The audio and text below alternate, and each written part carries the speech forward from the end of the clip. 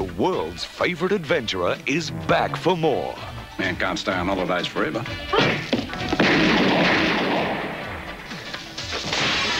Be careful. This isn't a game. It is to me.